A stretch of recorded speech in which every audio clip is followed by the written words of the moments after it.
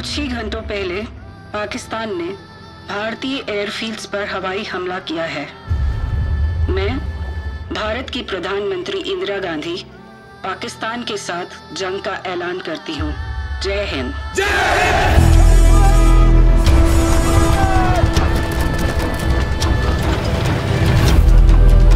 पूरे इतिहास में कभी कोई भी जंग किसी और देश को आज़ादी दिलवाने के लिए नहीं लड़ी गई है।